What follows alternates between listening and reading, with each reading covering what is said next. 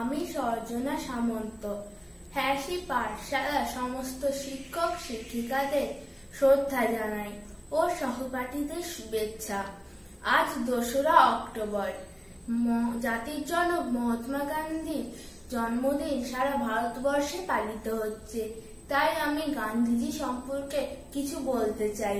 পরাধীন ভারতবর্ষের স্বাধীনতা আন্দোলনের অগ্রগামী ব্যক্তিত্বের মধ্যে অন্যতম মোহনদাস করমচাঁদ গান্ধী। তিনি একজন অন্যতম ভারতীয় রাজনীতিবিদ এবং প্রভাবশালী আধ্যাত্মিক নেতা, সত্যাগ্রহ আন্দোলনের প্রতিষ্ঠাতা। আঠারোশো উনসত্তর খ্রিস্টাব্দের দোসরা অক্টোবর গুজরাতের পোরবন্দরে গান্ধীজির জন্ম। তার পিতার নাম করমচাঁদ উত্তমচাঁদ গান্ধী ও মাতার নাম পুতলিবাই গান্ধীজি রাজকোট থেকে প্রবেশিকা পরীক্ষায় পাশ করেন। তারপর আঠারোশো অষ্টাশি খ্রিস্টাব্দে তিনি ইংল্যান্ডে চলে যান এবং সেখান থেকে ব্যারিস্টারি পাশ করে দেশে ফিরে আসেন। তার কর্মজীবন শুরু হয় মুম্বাইয়ের হাইকোর্টের ওকালতি দিয়ে।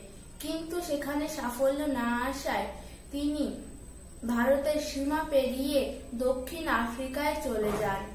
সেখানে বসবাসকারী ভারতীয়দের প্রতি শ্বেতাঙ্গদের অন্যায় অত্যাচারের বিরুদ্ধে তিনি অহিংসভাবে শুরু করেন অহিংস সত্যাগ্রহ সংগ্রাম এবং তিনি জয়লাভ করেন।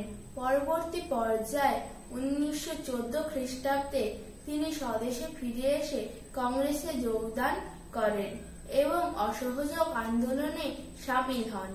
ধীরে ধীরে তিনি এই আন্দোলনে প্রথম সারির নেতা হন। পরবর্তীকালে তিনি আইন অমান্য করে লবণ আইন ভঙ্গ করেন। ভারত ছাড়ো আন্দোলন করে তিনি দেশবাসীকে স্বাধীনতা লাভের পথে অনেকখানি এগিয়ে দেন। স্বাধীনতা লাভের এক বছর পূর্বে, অর্থাৎ উনিশশো ছেচল্লিশ খ্রিস্টাব্দে, হিন্দু মুসলমানের বিরোধ বাঁধে, যা দেখে গান্ধীজি দুঃখ পান। এবং আপ্রাণ চেষ্টা করেও দেশভাগ থেকে দেশকে রক্ষা করতে পারেন না। তিনি চেয়েছিলেন সকল জাতির সমান অধিকার। এই কারণেই উনিশশো আটচল্লিশ খ্রিস্টাব্দের তিরিশে জানুয়ারি দিল্লির প্রার্থনা সভায় যাওয়ার সময় নাথুরাম গডসে নামক এক ধর্মান্ধ যুবকের হাতে তাকে প্রাণ দিতে হয়।